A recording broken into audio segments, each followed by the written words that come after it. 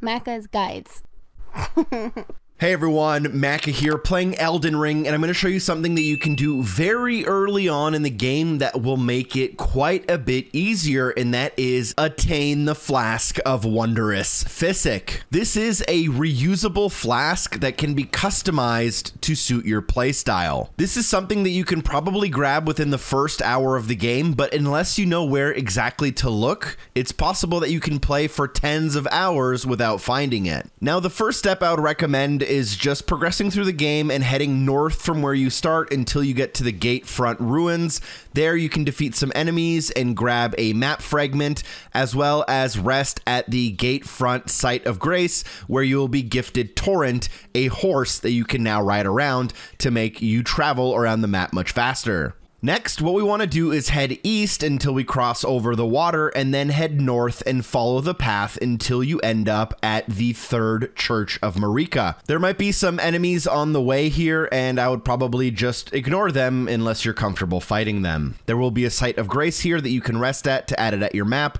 And inside is what we're looking for, the Flask of Wondrous Physick. You will also unlock a Crimson Crystal tear when you pick it up. You'll now be able to take this flask and mix two crystal tears in the flask to create a custom elixir with custom effects. But we will need at least two crystal tears, so let me show you a few locations. But before we leave, make sure you also pick up the sacred tear in this area, which can be used to upgrade the potency of your regular flasks. From the third church of Marika, you can follow the path that heads south, and in the distance, you'll notice a minor Erd tree.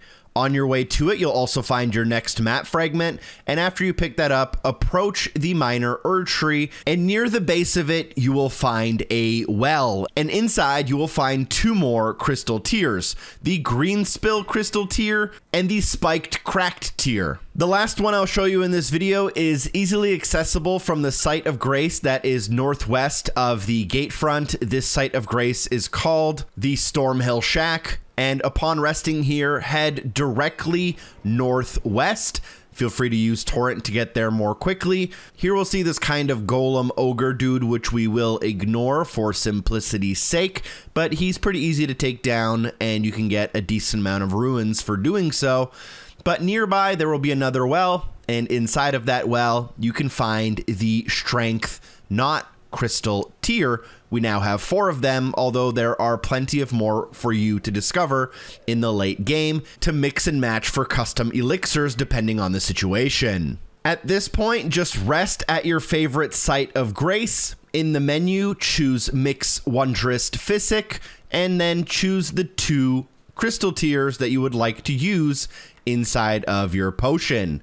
Once they are mixed up, make sure you add this item to your quick inventory just so you can pop it whenever you need it and you are ready to go. This will refill every time you rest at a site of grace and will be exceptionally useful for bosses, especially as you can fine tune them for each and every single boss.